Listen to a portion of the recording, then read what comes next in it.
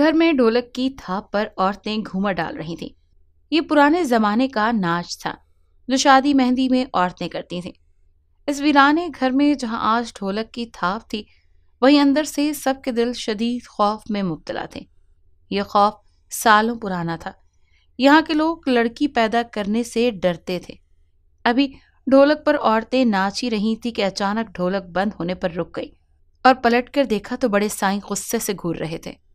ये सब क्या हो रहा है?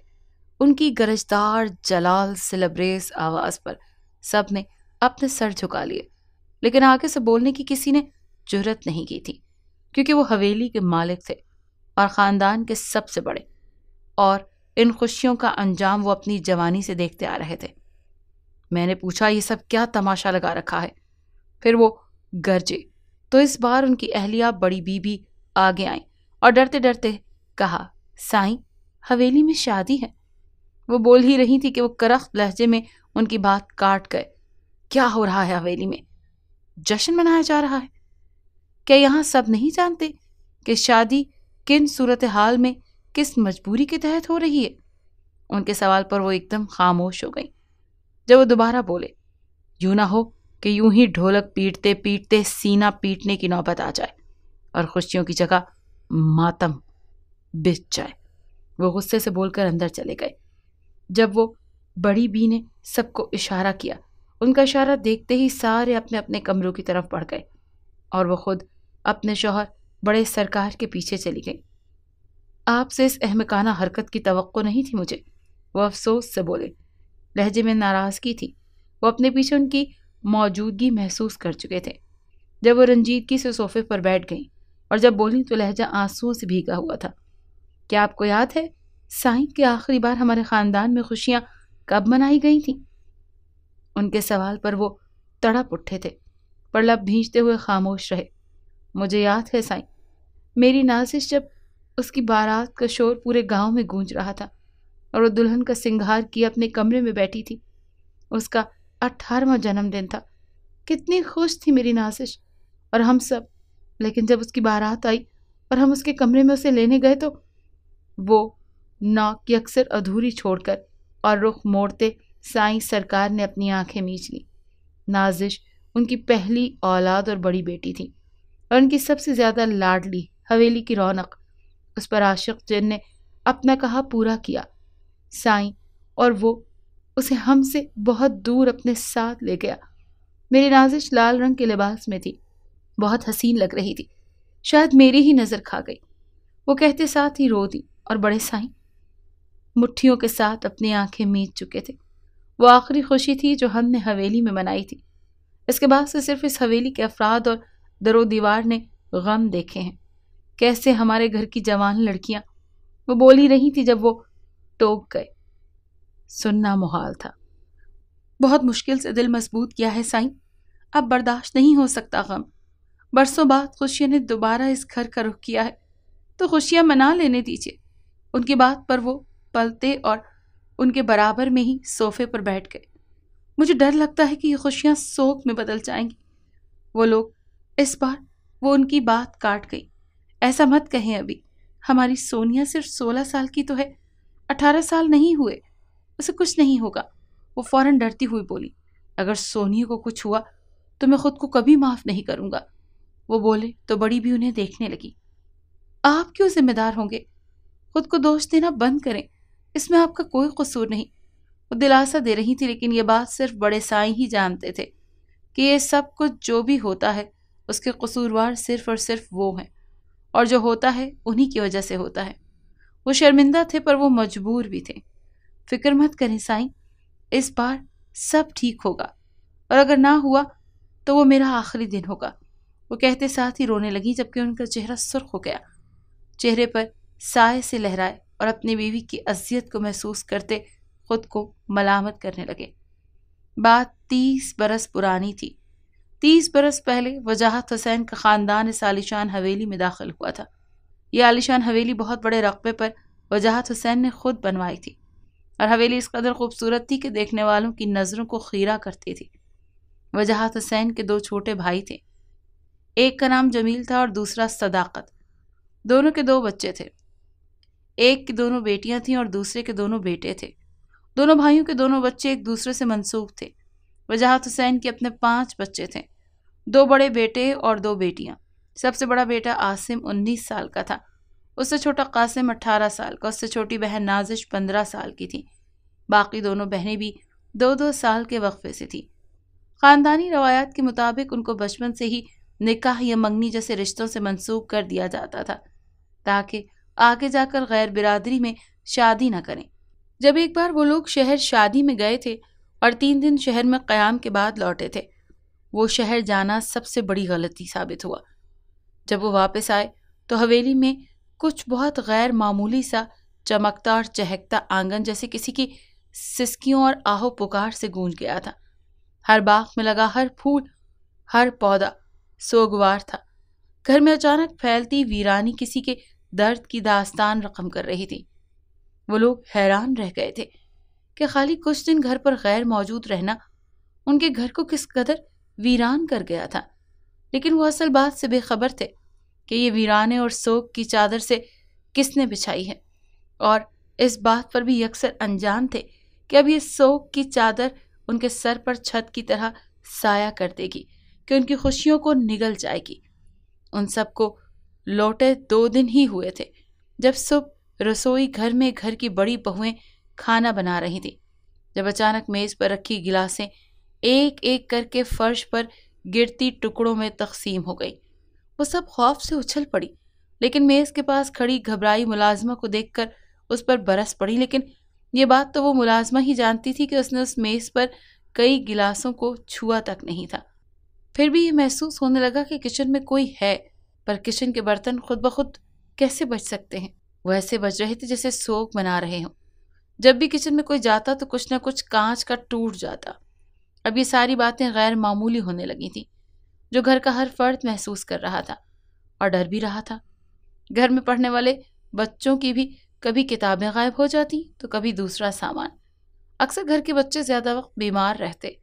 घर की गाड़ियाँ रोज़ पंक्चर हो जाती इतनी बुरी तरह से जैसे किसी ने बुरी तरह टायर फाड़ दिया हो। लेकिन चौकीदार और मुलाजमीन का कहना था कि गाड़ी के पास तो कोई गया भी नहीं। सब इन चीज़ों से सख्त परेशान हो गए थे। घर की औरतें और बच्चे हर वक्त खौफजदा रहते।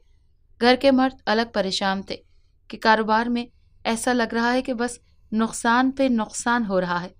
सब लोग परेशान हो गए, ऐसे जैसे कोई आसे बुरी तरह इनको चिमट गया हो। ऐसे में कई लोगों ने इन्हें वो हवेली छोड़ने का मशवरा दिया और कहा कि वो हवेली छोड़ दो, वरना बहुत बड़े बड़े नुकसान उठाने पड़ेंगे। वो हवेली मनहूस साबित हो रही थी और बाकी घर वाले भी इस बात पर यकीन करने लगे थे कि हवेली छोड़ने पर बजिद थे। पर शुरुआत से ही घर में वजाहत हुसैन का सिक्का चलता था और उन्हें अपनी मेहनत से बनाई गई हवेली छोड़ना गवारा नहीं था। इससे भी बढ़कर उन्हें बुजदिलों की तरह यूँ भागना अपनी तोहन लगी। वो ऊँची जात से ताल्लुक रखते थे और डर कर पीठ दिखाना उनकी तोहीन थी और फिर सबको उन्होंने एक बार फिर जेर कर लिया और सब अब खामोशी से रहने पर मजबूर थे। इसी दौरान घर के बड़े बेटे आसिम की धूमधाम से शादी हुई और उन्हीं की तरह एक ऊँची जात की लड़की शमसा आसिम की दुल्हन बनकर इस घर में आ गई। इस दौरान वजाहत हुसैन की बड़ी बेटी नाजिश की उम्र अट्ठारह साल होने वाली थी और उसकी इस सालगिरह पर उसे शहर तालीम के लिए भेजा जा रहा था। वो शहर जाने के नाम पर ही बहुत खुश थी। जब एक दिन वो बाथरूम गई और बाथरूम से निकलने के लिए दरवाज़ा खोलना चाहा तो दरवाज़ा लॉक था। उसने दरवाज़ा खोलने की बहुत कोशिश की, पर शायद वो जैम हो चुका था। वो दरवाज़ा बचाते किसी की मदद के लिए तलब कर रही थी। जब अचानक बाथरूम में औरतों के रोने की आवाज़ें आने लगी, जैसे कोई जनाजे पर बैन कर रहा हो। औरतों की आवाज़ें गूंजने लगी। वो शरीर खौफजदा होते हुए तेज दरवाज़ा पीटते, रोते हुए चिल्लाने लगी। रोने की आवाज़ें बुलंद होती जा रही थी और बिल्कुल इसी तरह नाजिश की चीखें भी। जब कुछ अजीब महसूस करते नाजिश ने ख्वाफ से पीछे देखा तो शीशे में स्याह अक्स देखते ही उसका जिस्म ठंडा पड़ने लगा। जब इन रोने की आवाज़ों में एक आवाज़ वाजे होती गई। वो किसी मर्द की आवाज़ थी और वो उसे कह रहा था कि तुम बहुत खूबसूरत हो। तुम्हें तो मेरे पास कैद होना चाहिए। तुम जैसे ही अट्ठारह साल की हुई मैं तुम्हें अपने साथ ले जाऊँगा। ये वाज सरगोशी सुनकर वो मजीद अपने हवास बरकरार न रख पाई और बेहोश होती वहीं गिर गई। उसे जब होश आया तो आवाज़ों का ज़ोर टूट गया और जो दरवाज़ा पहले जाम था वो खुद ब खुद खुल गया। शाम तक जब नाजिश कमरे से बाहर न गई तो बड़ी बीबी उसके कमरे में गई। लेकिन बाथरूम के अंदर बेहोश नाजिश को देखकर उनके तो जैसे होश ही उड़ गए। वो चिल्लाती हुई उसके पास गई, मदद के लिए सबको बुलाने लगी। नाजिश को उठाकर बेड पर डाला गया और चेक किया तो वो तेज भट्टी में जैसे बुखार में तप रही थी। बड़ी बीबी रोए जा रही थी। जब शाम हुई, नाजिश को होश आया तो वो मुस्तकिल एक ही बात बोल रही थी कि वो मुझे अपने साथ ले जाएगा। वो बताते हुए आंसुओं से रो रही थी। जब पहले पहले सबने उसके साथ खुद को भी दिलासा दिया कि ये सब उसका वहम है, क्योंकि बाहर ना आ सके चीखने की वजह से उसकी ये हालत हो गई है। लेकिन नासिश यकीन दिलाने लगी तो उन्हें यकीन करना पड़ा। लेकिन वजाहत हुसैन ने उसके हाथ पर एक तावीज़ बाँध दिया और कहा कि अब कुछ नहीं होगा और वाकई उसके बाद कुछ ना हुआ। नाजिश भी जल्दी सेहतयाब हो गई। जब वजाहत हुसैन सबको फैसला सुनाया कि वो नाजिश की शादी अपने दोस्त के बेटे से कर रहे हैं, जिसको बचपन में ज़बान दी थी। इस बात पर अख्तलाफ भी हुआ, पर वजाहत हुसैन का कहना था कि शादी लाजिम मलजूम है। बचपन की मंग थी, इसीलिए ज़्यादा मसला ही ना हुआ। उसके रिश्ते की मोहब्बत उसके दिल में बिठा दी गई थी। शादी की तैयारियाँ धूमधाम से रखी गईं, और वजाहत हुसैन ने नाजिश की शादी भी उसकी अट्ठारहवीं सालगिरह पर ही रखी। नाजिश दुल्हन बनी कमरे में बैठी थी रानियों की तरह उसका बनाव सिंगार किया गया। बारात आने की आवाज़ें सुनकर सारे कमरे से बाहर भागे। आखिर में उसकी माँ निकलने ही लगी थी कि उसने उनका हाथ थाम लिया और शर्मा कर उनसे पूछा, मैं कैसी लग रही हूँ? जवाबन बड़ी बीबी ने उनकी बलाएँ ली। वो वापस पलटने ही लगी थी जब नाजिश ने उनको वापस रोका और अपनी मेहंदी और चूड़ियों से भरे हाथ उनके सामने कर दिए और वही सवाल पूछा, कैसी लग रही हूँ? उन्होंने एक बार फिर तारीफ़ की। लेकिन वो और नाजिश चूड़ियों के बायस ये देख ही ना सकी थी कि जो तावीज़ वजाहत हुसैन ने उसकी कलाई पर बांधा था, वो गायब था और फिर बड़ी बीबी भी कमरे से निकल गई। बारात के आलिशान इस्तकबाल के बाद जब नाजिश के कमरे में उसे बुलाने के लिए गए तो घर में कोहराम मच गया, क्योंकि कमरे में नाजिश की लाल टूटी चूड़ियाँ बिखरी पड़ी थीं और उन्हीं टूटी चूड़ियों के दरमियान नाजिश का वो तावीज़ भी पड़ा था। जो वजाहत हुसैन ने उसके हाथों पर बांधा था। जिस घर में खुशियाँ ही खुशियाँ थीं, अब वहाँ मातम बिछ गया था। इस सदमे से वजाहत हुसैन को शदीद धचका लगा था। बड़ी बीवी पर कई दिन तक गशी तारी रही थी। घर तमाम मकीनों ने नाजिश को ढूँढने में दिन रात एक कर दिया, पर उन्हें जाने कहाँ गायब हो गई थी कि मिली ही नहीं। जबकि वजाहत हुसैन की इज़्ज़त पर बहुत बड़ा धब्बा लगा था कि कोई यकीन करने को तैयार ही नहीं था कि लड़की घर से गायब हो गई। सबका कहना था कि लड़की किसी के साथ भाग गई है। एक बदनामी ऊपर से बेटी का गायब हो जाना। ज़मीन पर पड़ा तावीज़ बता रहा था कि वो छुपी हुई मखलूक उनकी बेटी को अपने साथ ले गई है। इसके बाद सालों हवेली में कोई ईद त्यौहार खुशी नहीं मनाई गई। सोग और मातम तारी रहा। लेकिन इसके बाद कोई ऐसी बात भी ना हुई। नाजिश की बलि लेने के बाद उन्होंने इनको परेशान करना छोड़ दिया। वक्त पर लगाकर उड़ गया। पर यह वक्त नाजिश की कमी पूरी न कर सका। अभी एक कमी पूरी न हुई थी कि वजाहत हुसैन की दूसरी बेटी अट्ठारह साल की हो गई और फिर बिल्कुल अचानक जो किसी के वहमो गुमान में ना था, वो हुआ कि वो दूसरी लड़की भी रात अपने कमरे में सोई, लेकिन सुबह अपने बिस्तर पर ना मिली। इसके बाद लाख बचा कर रखने की, तदाबीरें करने के बावजूद एक के बाद एक लड़की हवेली से गायब होती रही। हर लड़की के वक्त वजाहत हुसैन हिफाजत इजाल सख्त कर देते, लेकिन इसके बावजूद उनका हर तावीज़ लड़की गायब होने के बाद उसी जगह से मिलता, जहाँ से लड़की गायब हुई। कुछ ऐसा ही हुआ था। अब तो बेटी पैदा करने से ही डर रहे थे कि ख़ानदान में सिर्फ़ मर्द बचे रह गए थे। वजाहत हुसैन, जो बेटी पैदा होने पर खुशियाँ, मिठाइयाँ बांटते थे, अब बेटी की पैदाइश पर पाबंदी लगा दी गई।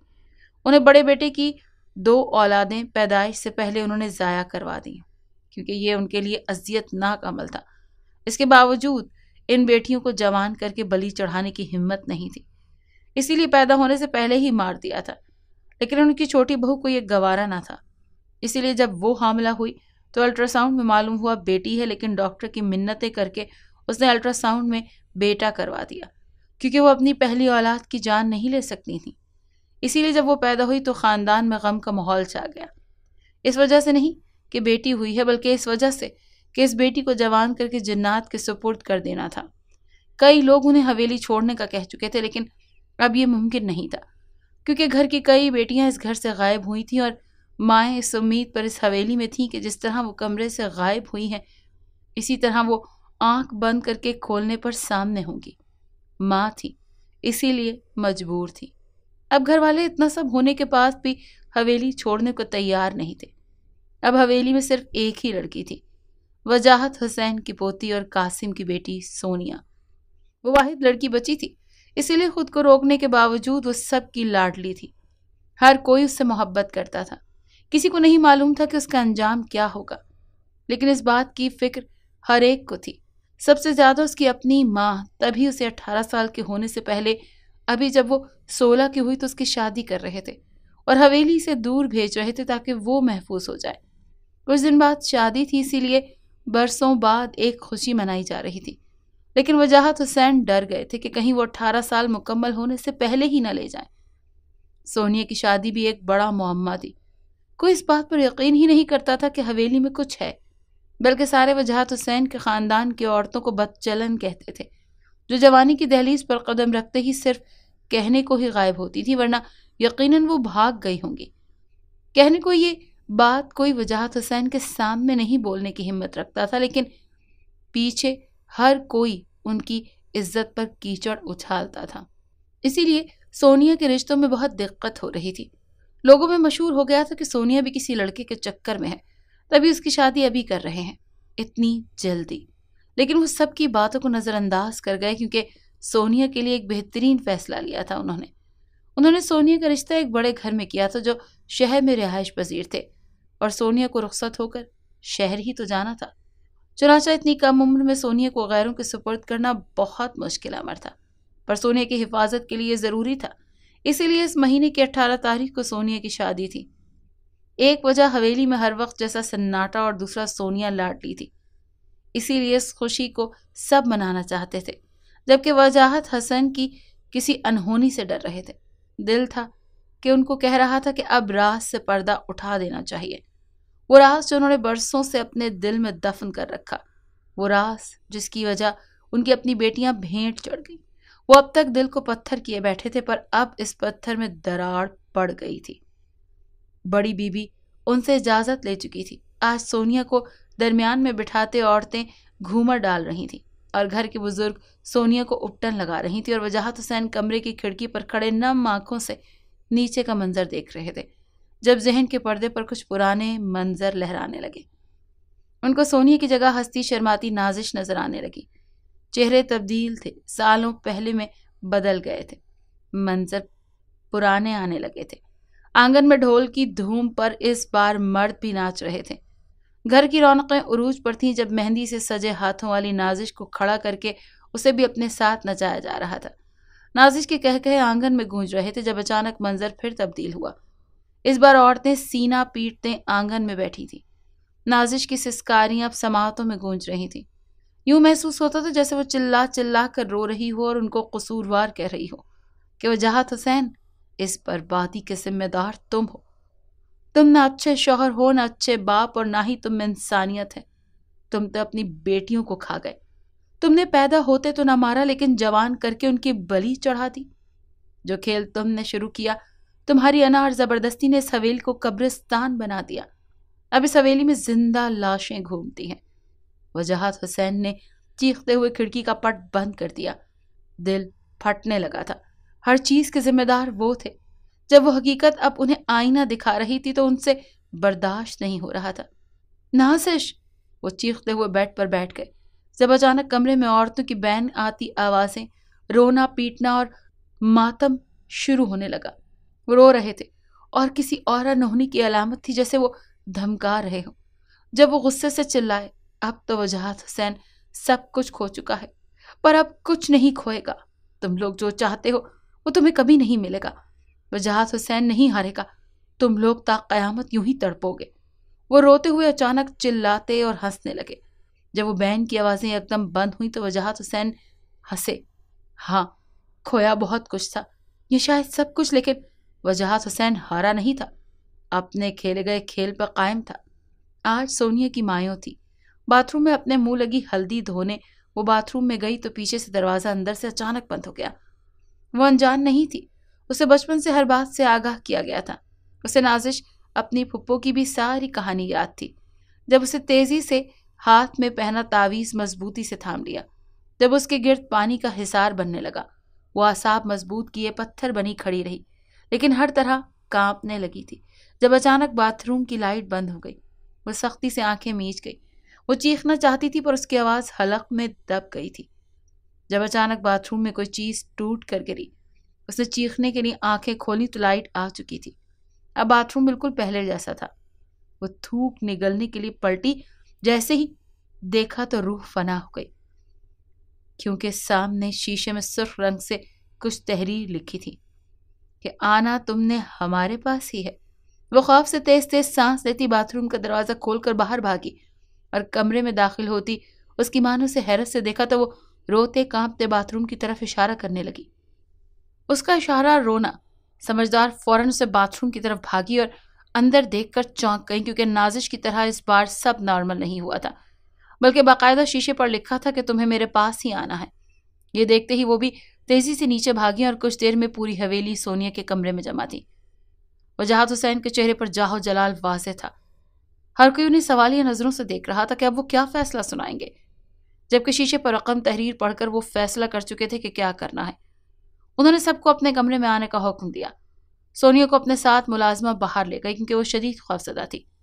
सारे वजाहत हुसैन के कमरे में थे और मुंतजर थे कि कुछ कहें। जबकि वजाहत हुसैन के कमरे में चक्कर काटते पैर थमे और फिर जो फैसला उन्होंने सुनाया, वहाँ कोई एक भी नहीं था, जिसे उस फैसले पर एतराज़ हो। सब वजाहत हुसैन के फैसले से मुतफिक थे। उन्होंने लड़के वालों को फ़ोन किया और कहा कि शादी अट्ठारह तारीख को नहीं, बल्कि कल ही होगी। सादगी से निकाह करके लड़की रुख्सत करके ले जा। लड़के वालों से मजीद दो तीन बातें हुई। इसके बाद वजाहत हुसैन ने निकाह की तैयारियों का हुक्म दिया और सोनिया को कहीं भी, हद तक के बाथरूम में जाने की भी इजाज़त नहीं थी अकेले। रात आँखों में कटी और अगले दिन दोपहर तक लड़के वाले हवेली पहुँच गए। उनका पुरतपाक इस्तकबाल हुआ और फिर असर के बाद सोनिया का निकाह दाऊद से हो गया। सबके दिल पुरसकून हो गए और फिर रात ही सोने की रुख्सती हो गई। सब कुछ गैर इरादी तौर पर हुआ था और अम से हो चुका था। वजाहत हुसैन ये अब तक की पहली बाजी ऐसी थे जो जीतने वाले थे, इसीलिए सरशार थे। घर वाले भी खुश थे। सोनिया को रुख्सत हुए वक्त गुजरता जा रहा था। शादी के बाद वो एक मरतबा भी घर ना आई थी, क्योंकि उसे सख्ती से मना किया गया था। न जाने उसने अपने ससुराल और शोहर को क्या कहकर कायल किया था, क्योंकि वो इन सब बातों पर यकीन नहीं रखते थे। अलबत् दिन में तीन चार दफ़ा सोनिया से फ़ोन पर बात होती रहती थी और वो लोग खुद शहर जाकर सोनिया से मिलाते थे। रात की स्याही में उल्लू और झींगरों की आवाज़ें गूंज रही थी। सब अपने अपने कमरों में क़याम पजीर थे। हवेली में रात देर तक जागने का रवाज नहीं था। और जब से ये हवेली आसेब सदा हुई थी, लोग वैसे भी रात को निकलने से गुरेज करते थे। लेकिन इस दिल चीर देने वाली खामोशी और खौफ की हवाओं को चीरते वजाहत हुसैन तेज़ी से हवेली के पिछले हिस्से में जा रहे थे। अपने गिर्द गर्म शॉल लपेटने के बावजूद सर्दी में हवा के सर थप्पड़ जिस्म को सुन कर रहे थे। ऐसे में वजाहत हुसैन के कदम हवेली के पिछले हिस्से पर बने कुएँ की जानब ठहर गए। होठों पर कमीन की भरी मुस्कुराहट उभरी और कुएँ का राज सिर्फ़ वजाहत हुसैन ही जानता था। कुएँ से होती उसकी नज़रें कुएँ की दीवार पर तराशे का एक छोटे से फूल पर पड़ी तो वो उस कुएँ की जाने पड़ा और उस फूल को छोटी मुस्कुराहट समेट गई। एक नज़र पलट कर देखा कि कोई पीछे तो नहीं है और फिर तेज़ी से कदम आगे बढ़ा दिए। वो फूल जिसका वजहत हुसैन छू कर गुजरा था, उस तराशे फूल में से उस खून रिस रहा था। सर्द रात में वो खून देखते किसी की भी जान खौफ से जा सकती थी। वजहत हुसैन एक झूले के आगे रुक गया तो बंजर था। सालों से इस हिस्से में कोई आया नहीं था, क्योंकि वजाहत हुसैन ने उस हिस्से में आने पर पाबंदी लगाई थी। उनका कहना था कि यहाँ जन्नात का बसेरा है, लेकिन ये बात कोई नहीं जानता था कि अक्सर रात वजाहत हुसैन इस हिस्से में आता था। वो झूले की तरफ़ नीचे ज़मीन पर बैठा, जेब से रुमाल निकाल कर वहाँ से मट्टी उठाई तो वहाँ कुछ दबी सी जगह वाजे हुई। जिस पर पाँव रखते ही वजाहत हुसैन खड़ा हुआ तो पाँव अंदर की तरफ़ चला गया और झूले के पीछे दीवार पर एक दरवाज़ा वाजे हो गया। ये एक बहुत बड़ा राज था जो सिर्फ़ वजात हुसैन ही जानता था और उसके सिवा कोई नहीं जानता था। ये घर का नक्शा बनवाते वक्त वजाहत हुसैन ने यह दरवाज़ा पोशीदा रखा था। वैसे तो यह ख़ानदानी, दीवार और कीमती चीज़ें छुपाने के लिए बनाया गया था, लेकिन इस्तेमाल वो किसी और चीज़ के लिए कर रहा था। उस दरवाजे के अंदर जाते ही अंदर ज़मीन में नस्ब एक ईंट पर पैर रखा तो दरवाज़ा बंद होते ही दीवार वापस अपनी पुरानी हालत में आ गई। अंदर मशल जलाई और अंदर की तरफ़ गए तो हसब मामूल वो गोल से मुख्तसर कच्चा कमरा चिरागों से रोशन था। वहाँ एक सितारों की शक्ल का यहूदियों का निशान था और ऐसे ही कई छोटे बड़े निशानात थे जिस पर अलग अलग बोतलें थी। दाऊद, हम घर नहीं जाएँगे? सोनिया पागल होने को थी। वो दो दिन से दाऊद को इस बात पर राज़ी कर रही थी, पर वो था कि भजित था। तुम्हें समझ क्यों नहीं आ रहा सोनिया कि मेरे घर वाले अब एतराज़ कर रहे हैं? ऐसा भी क्या मसला दरपेश है कि तुम शादी को दो साल गुजर जाने के बावजूद मैके जाने को तैयार ही नहीं हो? अरे लड़कियाँ तो पागल होती हैं। बार बार मैके जाने की जिद करती हो और एक तुम हो जो मैके जाने के नाम से ही डरती हो। अगर कोई राज है, कोई झूठ या फरेब जो तुम लोगों ने हमें दिया है तो बताओ। दाऊद ने गुस्से से कहा तो सोनिया मजीद परेशान हो गई। आप मेरे मैके जाने पर इतना इसरार क्यों करते हैं दाऊद? अगर मैं मैके नहीं जाती तो आपको तो खुश होना चाहिए ना? वो झुंझला कर बोली। बिल्कुल हम खुश हैं, लेकिन अब मेरे घर वाले ये सवाल उठा रहे हैं। उन्हें इस बात का तजस्स है कि क्यों तुम हवेली नहीं जाना चाहते? दाऊद संजीदगी से बोला तो सोनिया बेबसी से उसे घूरने लगी। आप सब जानते हैं दाऊद, फिर भी अनजान बन रहे हैं। वो भराई हुई आवाज़ में बोली तो अब के दाऊद चिल्लाया, ओ कमान सोनिया, कौन सी सदी में जी रही हो? तुम्हें क्या लगता है कि तुम मुझे कोई भी स्टूपिड सी स्टोरी सुनाओगी तो मैं यकीन कर लूँगा? वाह वैसे क्या कहानी बनाई थी तुमने? अगर किसी फ़िल्म डायरेक्टर को भेजी जाती तो इस पर सुपर डुपर हिट फ़िल्म बन सकती थी। हम्म, वो गोया मज़ाक उड़ाता सोनिया को साफ़ झूठा बोल रहा था। वो सब जो मैंने बताया वो सौ फ़ीसद सच है दाऊद। यकीन नहीं आता तो अम्मी अबू से फ़ोन करके पूछ लें। सोनिया का कहना था कि दाऊद उसके करीब सीने पर हाथ बांधे खड़ा हुआ। हवेली में जो भी लड़की अठारह साल की होती है उस पर जन आशिक हो जाता है और फिर उसे अपने साथ ले जाता है। हम्म, ऐसा ही कुछ बताया था ना तुमने? दाऊद के पूछने पर उसने तेज़ी से इस बात में सर हिलाया। यानी दुनिया की बाकी लड़कियाँ मर गई हैं जो वो तुम्हारी हवेली की लड़कियाँ रह जाते हैं या फिर बाकी दुनिया की लड़कियाँ बदसूरत हैं? हम्म, या फिर वो जिन ही पागल हैं जो एक शादीशुदा लड़की पर आशिक होंगे? किसने भरा है तुम्हारे दिमाग में ये खन्नास सोनिया? ऐसा कुछ नहीं होता।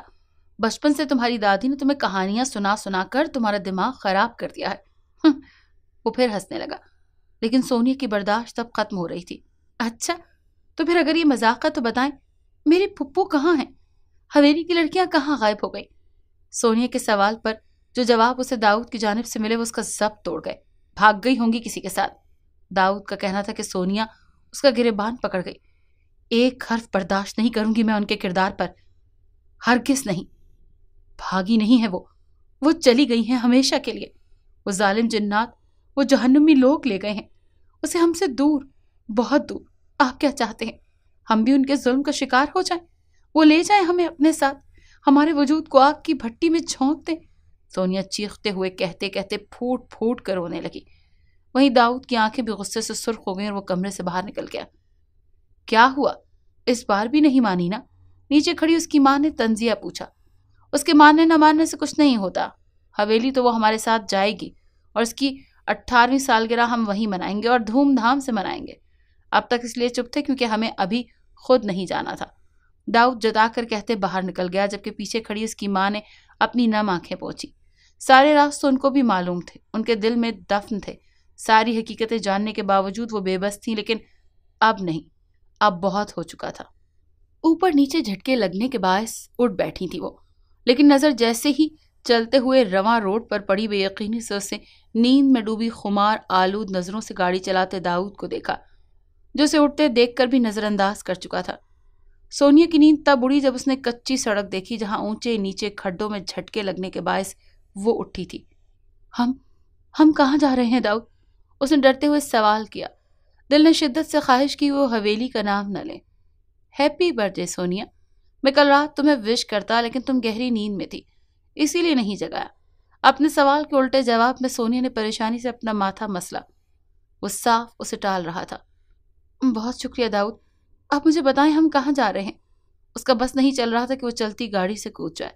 सरप्राइज़ कुछ देर में पता चल जाएगा। दाऊद के कहने पर उसने थूक निगलने सिर्फ़ इतना पूछा, क्या हम हवेली जा रहे हैं? दाऊद ने गहरी सांस ली। सारा सरप्राइज़ खराब कर दिया। खैर, मुझे यकीन है तुम्हारे घर वाले तुम्हें देखकर ज़रूर खुश हो जाएँगे। बल्कि शदीद झटका लगेगा। वो दिलचस्पी से बोल रहा था कि सोनिया ने सर थाम लिया। दाऊद मुझसे जरा भी मोहब्बत नहीं है ना? जो मेरी ज़िंदगी कुर्बान करने वहाँ जा रहे हैं। वो रोते हुए बोली तो दाऊद ने गाड़ी का ब्रेक लगा दिया। ऐसा कुछ नहीं होगा सोनिया। तुम जैसा सोच रही हो, ऐसा कुछ नहीं होगा। वो बोल ही रहा था जब वो चीखते हुए बात काट गई। आपको इन सब बातों पर यकीन दिलाने के लिए मैं अपनी जान कुर्बान नहीं कर सकती, दाऊद। आपका एडवेंचर मेरी जान ले जाएगा। जान जाने के खौफ से आँखों के साथ दिल भी रोने लगा था, जब दाऊद ने उसका हाथ थामा। मेरी बात सुनो गौर से। मेरे होते हुए तुम्हें कुछ भी नहीं होगा, सोनिया। कसम ले लो, मैं तुम्हें कुछ नहीं होने दूँगा, वो यकीन से कह रहा था। आपके बस में कुछ नहीं रहेगा, दाऊद। अब के वो तड़प कर बोली, पहले भी सब कुछ अल्लाह के फजलो करम से मेरे बस में था और आगे भी रहेगा। तुम बस मेरा यकीन रखो, सोनिया। वो जितने यकीन से बोला था, सोनिया खामोश हो गई। इससे ना हुआ कि वो इसका ये मान तोड़ दे। इसीलिए अपनी जान को पसे पुष्ट डालकर वह इस बात में सर हिला गई और दाऊद उसका खुद पर मान और यकीन देखकर कुछ पल साकित रह गया। आँखें अलग ही सरशारी का तासर पेश कर रही थीं, जबकि दम में हज़ार खदशात लिए सोनिया इस बात से अक्सर अनजान थी कि आगे किस्मत उसे अपना किस कदर तल्ख चेहरा दिखाएगी। गाड़ी जैसे ही हवेली में दाखिल हुई, सोने के करीब से इतनी ठंड में एक तेज गर्म झोंका करीब से गुजरा। वो खौफ से दाऊद का हाथ थाम गई। दाऊद उसका हाथ थामे अंदर दाखिल हुआ तो अंदर बैठे सब लोग सोनिया और दाऊद को देखकर बेयकीन हो गए। वहीं वजाहत हुसैन का चेहरे का रंग बदल गया। फिर एक एक करके सबके चेहरे का रंग बदलता गया, लेकिन सबके चेहरे पर एक ही रंग था और वो रंग था खौफ का। जैसे वो लोग दाऊद के सामने छुपाने पर मजबूर थे। उसे ये सब नहीं बता सकते थे तो मजबूरन दाऊद और सोनिया का इस्तकबाल किया, जबकि घर के लोग ज़रूर सोनिया को डांट रहे थे। बड़ी बीबी साहिबा ने बहाना किया कि आज वो सब ज़रूरी काम से शहर जा रहे हैं तो शाम तक तुम दोनों भी रुक जाना, हम सब साथ चलेंगे। बड़ी बीबी का अंदाज यूँ था जैसे वो दोनों एक दो घंटे के लिए आए हों, और वो ठहरने पर इसरार कर रहे हैं।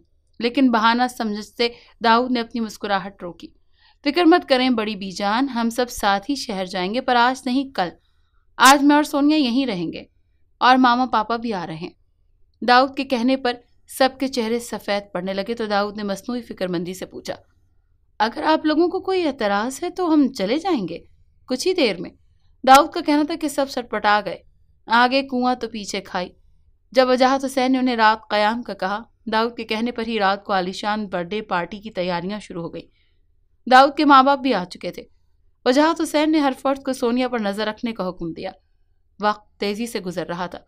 हवेली का लॉन सजाया जा चुका था। सब तैयार थे। हसीन चेहरों पर खौफ रक्स कर रहा था। माहौल अचानक अबर आलूद हो चुका था। बारह बजने वाले थे और दाऊद की ख्वाहिश पर सोनिया को सिंड्रेला की तरह तैयार करवाया जा रहा था। जब बारह बजने में दो मिनट रह गए जब सोनिया को बाहर लाया गया। दाऊद उसे देखता कर देखता रह गया। जहाँ सबके चेहरों पर खौफ था, वहीं सोनिया के चेहरे पर खौफ की जगह यकीन था कि वो दाऊद पर यकीन कर चुकी थी कि उसे कुछ नहीं होगा। उसके चेहरे से खुशी फूट रही थी। जब बारह बजते ही एकदम लाइट बंद हुई और स्पॉट लाइट सनरेला बनी, सोनिया पर गई। वो केक काटने को आगे बढ़ी और सर झुकाए खामोशी से केक काटा। उसके केक काटते ही लाइट ऑन हो गई, लेकिन सब ये देखकर हैरान रह गए कि केक काटने के बाद सोनिया पत्थर बनी खड़ी थी। जब अचानक उसने केक पर अपना हाथ दे मारा सब मुँह पर हाथ रख गए। सोनिया की अम्मी आगे बढ़ने ही लगी थी जब सोनिया हँसते हुए खुद को विश करने लगी। लेकिन यूँ लगा था जैसे सोनिया नहीं, बल्कि कोई मर्द उसे विश कर रहा हो। उसकी भारी आवाज़ मर्दाना थी। वो बुरी तरह हँसते अपनी बर्थडे केक पर हाथ मार रही थी। मुबारक हो सोनिया, तुम अट्ठारह साल की हो गई।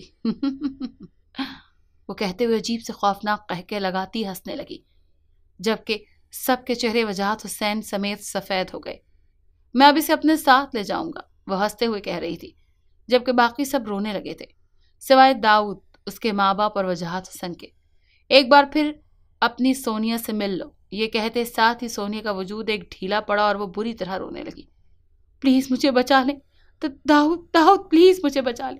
आपने वादा किया था ना? वो बोलकर बुरी तरह रोने लगी जब दाऊद ने मुट्ठी भीजते रुख बदल कर अपनी माँ को देखा। मुझसे ये सब बर्दाश्त नहीं हो रहा है। वो बीवी है मेरी। वो अपनी माँ से कह रहा था जब उन्होंने गुस्से से देखा, हम नमक हरामी नहीं कर सकते, दाऊद। तुम्हारी बीवी को यह सब बर्दाश्त करना पड़ेगा। तुम इस इम्तिहान में फेल नहीं हो सकते।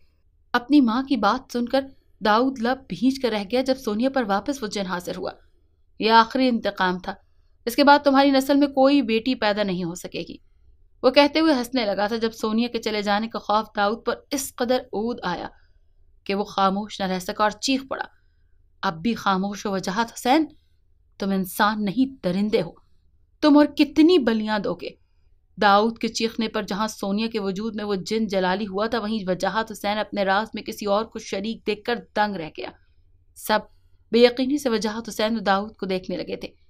दाऊद, ये सब क्या बोल रहे हो? कासिम के पूछने पर दाऊद और चिल्लाया। ये सब बलाएँ आपके अब्बा वजाहत हुसैन की मोल ली हुई हैं।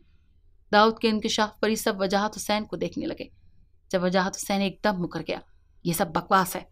वजाहत हुसैन का कहना था कि सोनी के वजूद में मौजूद जिन चिल्लाया इसका चिल्लाना इस कदर हौलनाक था कि सब कान पर हाथ रख गए। यही है वो जिसकी वजह से तुम्हारी बेटियाँ चली गईं।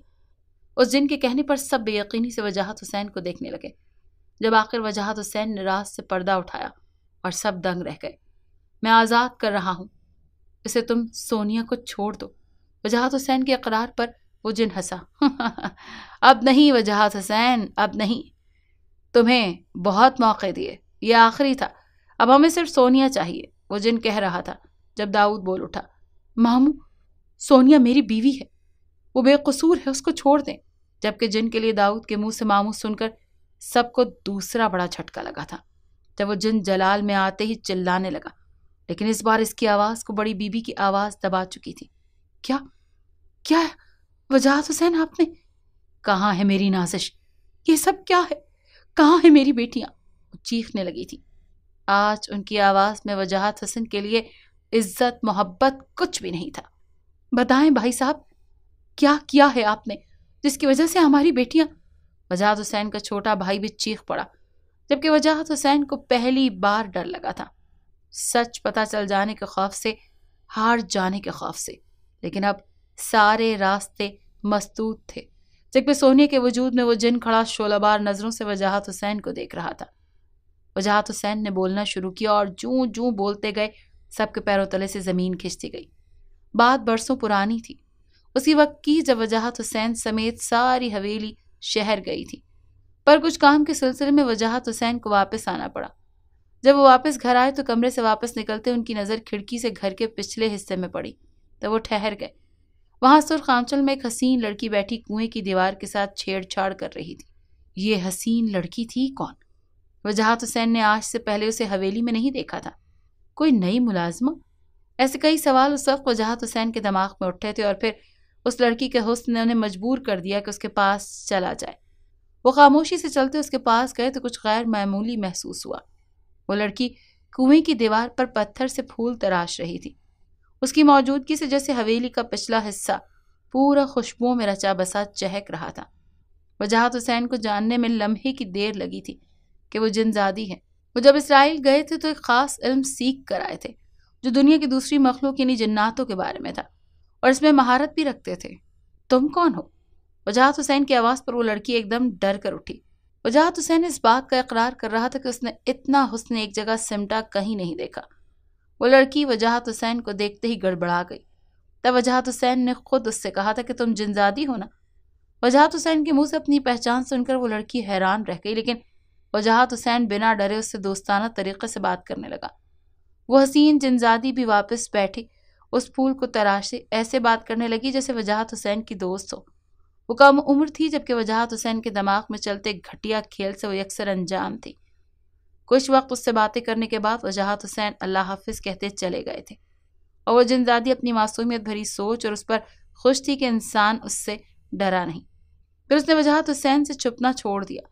और यही वजाहत हुसैन चाहता था कि वो उस पर यकीन करे क्योंकि सामान आने और अमल में कुछ वक्त लगता। तब तक उसे इस जिनजादी को रोक कर रखना था और फिर जब वजाहत हुसैन के प्लान के मुताबिक हुआ और एकदम वजाहत हुसैन ने उस जिनजादी को काबू करते कैद कर लिया और फिर उसे एक बोतल में बंद कर दिया। इस खुफिया दरवाजे में ले गया, अंदर जाकर अपने इल्म का इस्तेमाल किया कि वहाँ वजाहत हुसैन और उसके तोड़ के बिना कोई उस लड़की को ना निकाल पाए। और हुआ भी यही, वो जिनजात वजाहत हुसैन को कोई नुकसान भी नहीं पहुँचा रहे थे कि उनकी जिनजादी वजाहत हुसैन की कैद में थी। फिर वो घर वालों को परेशान करना शुरू हुए, पर वजाहत हुसैन बाज ना आया, बल्कि साफ़ कहा कि वो कुछ भी हो जाए, उसे आज़ाद नहीं करेंगे। और फिर उसे दुश्मनी और वजाहत हुसैन की शुरू हो गई। जंग में हवेली की लड़कियाँ जद में आईं। वजाहत हुसैन ने जिस जिनजादी को अपने कैद में लिया था, वो जिनजादी अपने ख़ानदान में सबसे ज़्यादा लाडली और छोटी थी। उसकी उम्र अट्ठारह साल थी। यूँ जो भी लड़की हवेली में अट्ठारह साल की होती तो उसे अपने पास कैद कर लेते, जैसे वजाहत हुसैन ने उनकी बेटी को किया। पर फिर पहले वजाहत हुसैन की इज़्ज़त की वजह से नाजिश गई।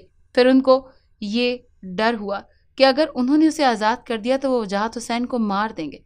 इस डर में दूसरी बेटी गई और फिर बात अना और जीत की आ गई। वजाहत हुसैन जानता था कि वो लोग उसे नुकसान नहीं पहुँचा सकते, जब तक उनकी जिनजादी वजाहत हुसैन के पास कैद है। वो औरतों के रोने, आवाज़ें जो गूंजती थी, वो उनके ख़ानदान की औरतों की थीं, जो अपनी लाडली के कैद होने के गम में रोती थी। सारी हकीकत जानने के बाद वजाहत हुसैन को थू थू कर रहे थे सब लोग। उनके जुल्म पर मातम कुना थे और फिर वजाहत हुसैन को हवेली के पिछले हिस्से में जाते उस गारनुमा कमरे को खोल उस बोतल को बाहर लाते उस कुएँ के पास खोलना पड़ा था, जहाँ उस जिनजादी ने फूल बनाया था। उस जिनजादी के आज़ाद होते ही सोनिया का वजूद बेहोश होते ज़मीन पर गिरा था, जिसे दाऊद ने थामा था। वो सोनिया के वजूद को छोड़ चुके थे, जबकि वजाहत हुसैन अपने कमरे में बंद हो गए थे। बिना किसी हिफाजती तदबीर के, वो जानते थे कि अब वो लोग इन्हें नहीं छोड़ेंगे। वहीं बड़ी भी रोते रोते अपनी औलाद की फरियाद कर रही थी, लेकिन बाकी लोग जानते थे कि अब तक तो वो मार भी चुके होंगे। सब हैरान थे। जब इस मुतालिक दाऊद से पूछा तो उसने बताया कि मेरी अम्मी की परवरिश इन जिन जादों की माँ ने की थी। मेरी माँ इन सबसे मिलती हैं और हम भी। सोनिया की जल्दी शादी का जानकर उन्होंने अम्मी से बात की और फिर उनके प्लान के तहत मेरी सोनिया से शादी हुई। सब अपने अपने कमरों में जाकर मातम को ना थे जब सब घर में शोर मचा के बड़ी भी चिल्ला चिल्ला कर सबको नाजिश के कमरे में बुला रही थी। जब कमरे में जाकर देखा तो खुशी का ठिकाना नहीं रहा। जिस दुल्हन के लिबास में नाजिश गायब हुई थी, उसी दुल्हन के लिबास में अपने बिस्तर पर बेहोश थी। लेकिन बस फ़र्क इतना था कि उस वक्त जो नाजिश गायब हुई थी, वो अट्ठारह साल की थी और अब जो नाजिश थी, वो अड़तीस साल की। पूरे बीस साल बाद वो नाजिश को देख रहे थे। फिर एक एक करके सारे कमरे चेक किए तो सारी लड़कियाँ मौजूद थी। लेकिन एक शख्सियत गायब थी और वो थे वजाहत हुसैन। यकीनन वो लोग वजाहत हुसैन को कैद कर चुके थे। एक बार फिर इस घर में रौनकें उतरी थी। सब एक दूसरे के गले लगकर फूट फूट कर रो रहे थे। इस बात के भी साल गुजर चुके थे। नाजिश और वापस आने वाली लड़कियों की भी शादियाँ हो चुकी थी। सारे सवेली में अब भी मौजूद थे और खुशियाँ ही खुशियाँ थी। अब वो जंजात भी उन्हें परेशान नहीं कर रहे थे। दोनों अपने अपनी दुनिया में मगन थे। लेकिन इस बात से घर वाले अक्सर अंजाम थे कि वजाहत हुसैन को गायब नहीं किया गया। ना ही किसी जंजात ने उन्हें कैद किया, बल्कि वो खुद सबकी नज़रों से ओझल, शर्मिंदगी और नदामत के बोझ चले सब छोड़कर उस रास्ते पर निकले और निकलने से पहले वापस उस कुएँ पर जाकर हाथ जोड़कर, फूट फूट कर रोकर माफ़ी मांगी थी। किस किस तरह से माफ़ी मांगते? क्योंकि उन्होंने सिर्फ़ उस जिनजादी को कैद नहीं किया था, बल्कि अपनी बेटी और हवेली की दूसरी लड़कियों की कैद के जिम्मेदार भी वही थे। उस जिनजादी से तो वो माफ़ी मांग ही रहे थे, लेकिन अपनी बेटियों के सामने जाने की हिम्मत नहीं हो पाती, क्योंकि वो जानते थे कि कल सुबह तक यकीन उनकी बेटियाँ भी आज़ाद हो जाएँगी। न जाने मुआफ़ किया भी था उन जनजादों ने या नहीं, लेकिन वजाहत हुसैन खुद को मुआफ़ नहीं कर सके थे।